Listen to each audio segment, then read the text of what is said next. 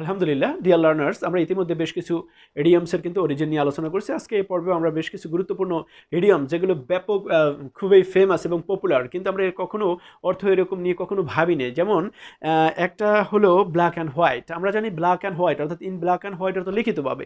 আচ্ছা এটা লিটারালি কী মানে হয়? ব্ল্যাক মানে কালো হোয়াইট মানে সাদা। তো সাদা কালো না হয় কেন লিখিতভাবে হলো? কারণ এর is there only valid reason yes কারণ হলো যে আমরা অনেক লোক আছে দেখবেন যারা কালার ব্লাইন্ড এমনকি তারা রঙের পার্থক্য করতে পারে না। কিন্তু সেই কালার ব্লাইন্ড যে পার্সন তারাও কিন্তু can easily differentiate between white and black তারাও কিন্তু সাদা কালোর পার্থক্য সহজেই করতে পারে।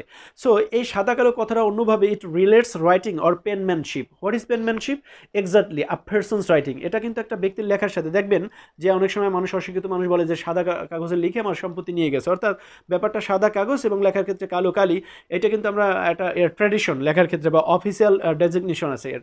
সো আমরা মনে করি এই দিক থেকে আমরা বুঝতে পারি যে সাদা কালোর পার্থক্য যেমন সহজ বা স্পষ্ট, ঠিক তেমনি কোনো কিছু যদি ব্ল্যাক অ্যান্ড হোয়াইট লেখা হয়, সেটাও লেখার সাথে রিলেটেড এই দিক থেকে আমরা ব্ল্যাক অ্যান্ড হোয়াইট মানে লিখিতভাবে এটা ধরে নিতে পারি, কোনো সমস্যা নেই। সো এখন যেটা আমরা যেটা আলোচনা করব সেটা হলো আকোয়াক অ্যান্ড বুলিস্ট্রি খুবই ফেমাস একটা এডিয়ামস আকোয়াক অ্যান্ড বুলিস্ট্রি আমরা জানি গাজাখড়ি বা আশারি গল্প, কিন্তু কেন গাজাখড়ি বা আশারি গল্প বা অসত্য গল্প হলো ইংলিশে বললে? আনবিলিভেবল ঠেল কেন এটা হলো? যেখানে কক মানি হচ্ছিল, আমরা জানি মোরগ আর বুলমানি সার তো এটা কেন হলো না যে সার এবং মোরক আসলে ব্যাপারটা হলো এরকম যে আমরা জানি যে ইয়াতে, অর্থাৎ ইংল্যান্ডের একটা শহর, যেটা হলো বার্মিংহাম, এই বার্মিংহামে দুইটা ইন বা সারাইখানা আছে। যেখানে একটা হলো, একটা সারাইখানার নাম হচ্ছিল দ্য কক, আরেকটা সারাইখানার নাম ছিল দ্য বুল।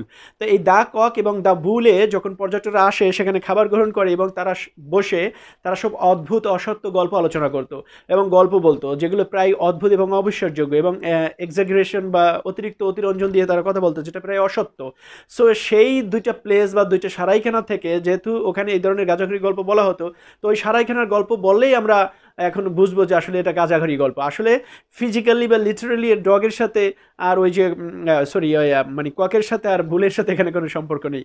যেমন আমরা গত একটা পর্বে বলছি যে সলেমান জাজবেন্ড কেন ন্যায় বিচার হলো, যেখানে সলেমান গেল কোথায়? কারণ সলেমান তো ন্যায় বিচারে করতো, তার আরেক নাম তো ন্যায় বিচারে হবে। ঠিক তেমনি অ্যাপল আর ডিসকর্ডের কেন অর্থ হলো যে বিবাদের বিষয়ে আপেলটা গেল কোথায়? আপেলটা এই জন্যই গেল যে আপেলকে নিয়েই ওখানে যত গণ্ডগোল বা হট্টগোল বেজেছে, তো সেটাই অবশ্যই বিবাদের একটা বিষয় ম্যাটার অফ ডিসপিউট সো এখন যেটা আমরা নিয়ে আলোচনা করব সেটা হলো সোয়ান সং, আরেকটা ফেমাস এবং পপুলার ইডিয়ামস হলো সোয়ান সং। তো এই সোয়ান সং অর্থ সোয়ান যদি আমরা রাজাহাঁস ধরি সং মানে গান রাজাহাঁসের গান হওয়া উচিত ছিল। কিন্তু আমরা জানি এটার অর্থ হলো কোনো রাইটার বা কোনো কারও শেষ কর্ম সাহিত্যকর্মের ভিতরে শেষ যে লেখা, এটাকে লাস্ট ওয়ার্ক ইংলিশে বলে লাস্ট ওয়ার্ক এটাকে বলা হয় সোয়াং সং কেন?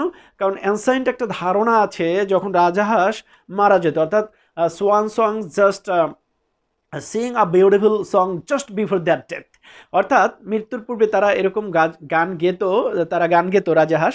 মৃত্যুর ঠিক আগে এটা একটা প্রাচীন ধারণা নট এক্স্যাক্টলি হ্যাঁ সো এখন যেহেতু মারা যায় মানে একটা জিনিসের শেষ মানে মারা যাওয়া, তাই এই শেষ লেখাটাও সোয়ান সং ওই অর্থে আমরা ধরে নিতে পারি। সো এখন আমরা যেটা নিয়ে আলোচনা করব সেটা হলো, a fish out of water so আমরা জানি যে এই fish out of water literally এর কী অর্থ দাঁড়ায়? যে একটা মাছকে পানির বাইরে নিলে কি হয়?